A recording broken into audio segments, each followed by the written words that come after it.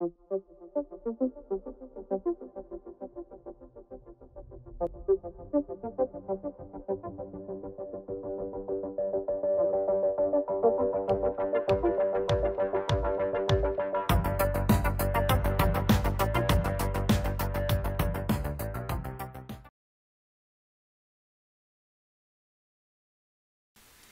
Okay, we're going to solve another example problem involving the calculation of pressure drop in pipe flow. So I'll begin by writing out the problem statement.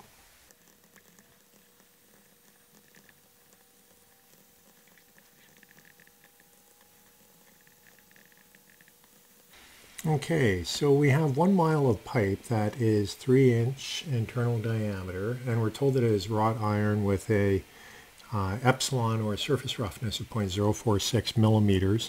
And within that pipe is flowing water at 20 degrees C and 7 meters per second is the average velocity.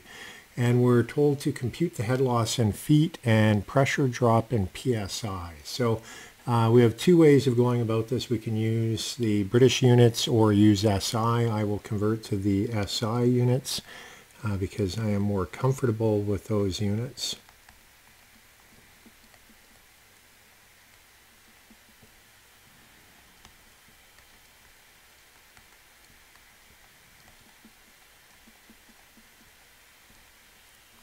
And then looking at values for water.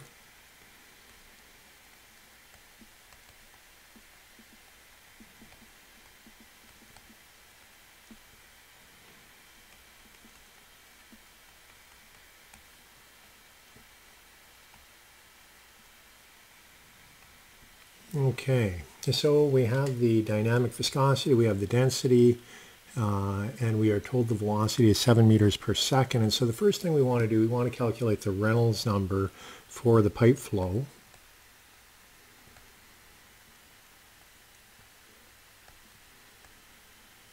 And so substituting in the values, we have all the values for the Reynolds number, and we find that we're at 5 times 10 to the 5, 5 point, well, let me write it out.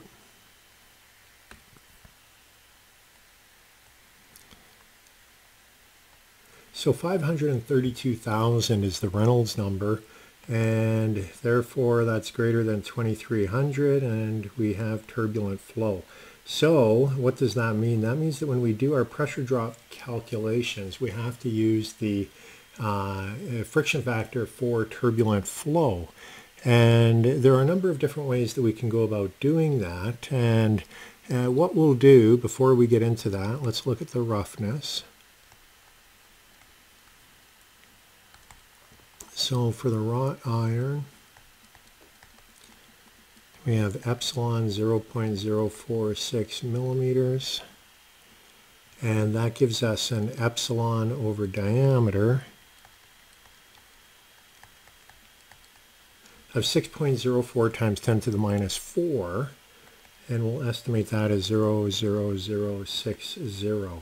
So uh, these two values we will be using. We'll be using epsilon over d and we'll be using the Reynolds number to compute the pressure drop or the friction factor for this particular case. So what we're going to do to begin with, we're going to go to the Moody diagram and we will use an epsilon over d of 0.0006 and an RE based on diameter of 530,000 and we'll read the Moody diagram and estimate the friction factor from the Moody diagram. So let's take a look at the Moody diagram. So here we have the Moody diagram and the Reynolds number we said was 530,000 so we come down this is 5 that would be 1 2 3 4 5 5.3 times 10 to the 5 so we're someplace in here is where we will go into the Moody diagram.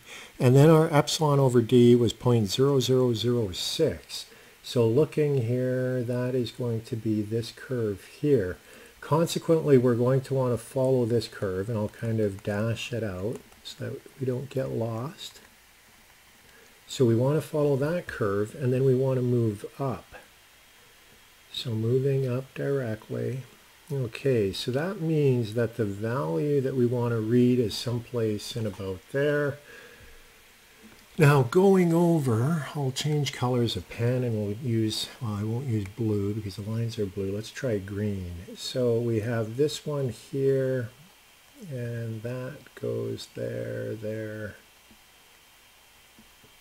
Carefully coming over. We come out about there. So that's one, five, six, seven, eight. We estimated the friction factor to be about 0.018 so F is equal to 0.018. So by reading the Moody diagram, we can write out F equals 0.018, and that would be our first estimate. Now, that is using Moody. Now, there are other ways that we can go about doing this calculation, and, and some of them do not involve reading the Moody diagram. Others would involve using equations. So let's take a look at those different techniques next. Uh, one of them is using the Haaland equation. And this is the equation that uh, did not require iteration. And so writing out the Haaland equation for the friction factor and plugging in values. So we can solve for the right-hand side, and that's going to be equal to 1 over the square root of the friction factor. And with that, we can solve for f to be 0, 1, 8, 2. So that's pretty close to what we got with the Moody diagram. So Haaland gives us that. Moody gave us 0.018. Now this is an approximate. It, it's not a perfect estimate, and none of them really are perfect. Uh, they're probably all about plus or minus 10% because we're uh, fitting empirical data from experiments. Uh, so that is the technique by Haaland. And then another technique is the Colebrook-White equation.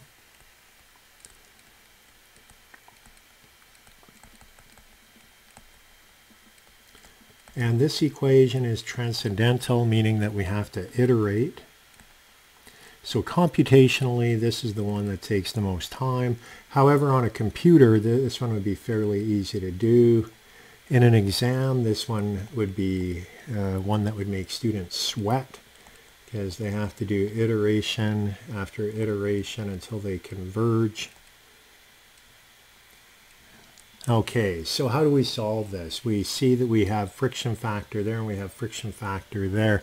The way that you do it is you just do trial and error. And so what I'm going to do is I'm going to develop a table here, uh, F value, left-hand side, right-hand side, and then the difference between the two. And I'm going to put in numbers and we'll take a look at where it takes us.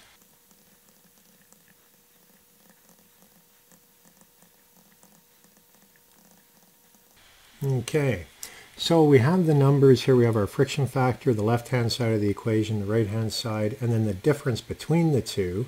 So that would be left-hand side minus right-hand side. And so when we get near the root of this equation, we'll have a zero crossing, and consequently the sign of the difference should change. And we see that takes place down here. So we could go through and do more trial and error with the values of the friction factor in order to estimate, or you can go ahead and just do interpolation. And if you do interpolation, what you find is the friction factor comes out to be 0.183. So really not too far off what we got with the Haaland equation, nor is it far off from what we got from the Moody diagram. So that's another technique. This is one that would work well with a computer code. Uh, but to do it by hand, I would either use the Moody diagram or the Haaland equation. That seemed to be very efficient and compact and gives you the answer directly. So what we're going to do, we have these different estimates. Uh, we have uh, from the Moody diagram, we got 0.018. From the Haaland equation, we got 0.182. And then just now using the Colebrook-White, we got 0.0183. So I'm just going to say F equals 0.018. And we're going to use that to continue on with the calculation for this problem of estimating the pressure drop in this pipe that we're dealing with. So now that we've estimated the friction factor, what we can do is we can go ahead and using the Darcy-Weisbach equation, we can estimate the head loss for turbulent flow.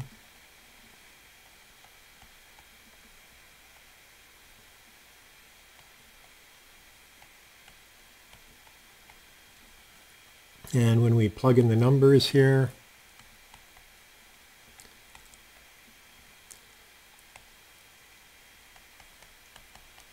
and then converting it to feet because that's what we were asked to do for the question. So there is one part of the answer. We were told to compute the head loss in feet and the pressure drop in psi. So this would give us the first half of the answer. Now for the pressure drop, what we're going to do is we're going to go to the energy equation. So let's write out the energy equation.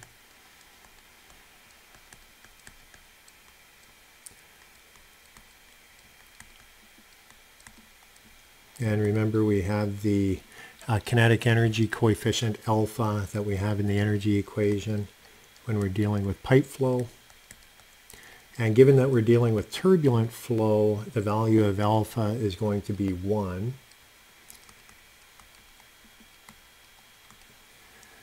Okay, so alpha 1 equals alpha 2 equals 1.0 because we're dealing with a turbulent pipe flow. V1, uh, we have fully developed flow, so V1 is equal to V2 equals 7 meters per second. That's not changing. Uh, we know that, well, we don't know. They didn't tell us anything about elevation change, so let's assume Z1 is equal to Z2. And with that, uh, what we get is uh, this equation and this, or this term goes with that term, that term goes with that term. So we're just left with the pressure differential and the head loss due to uh, friction in the pipe.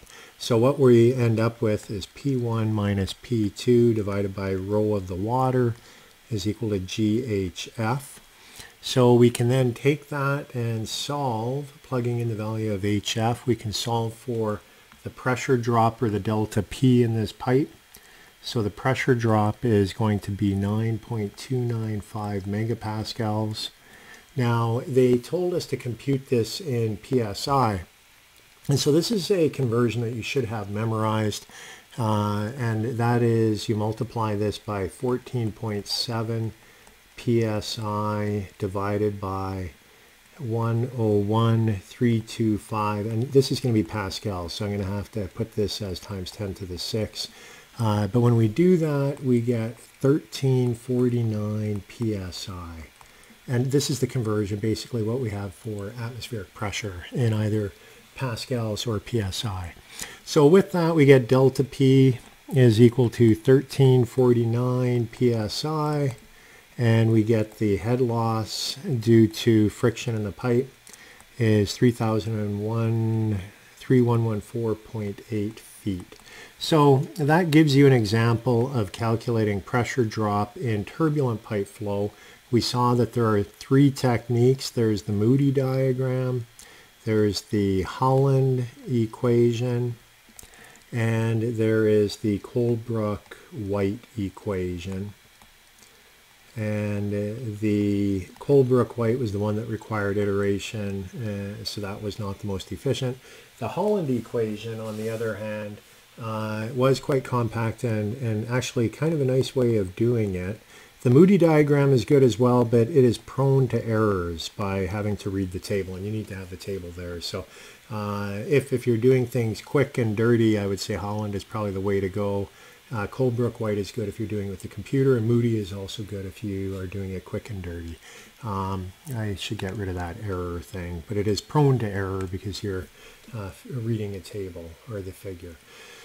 So that is pressure drop with turbulent pipe flow.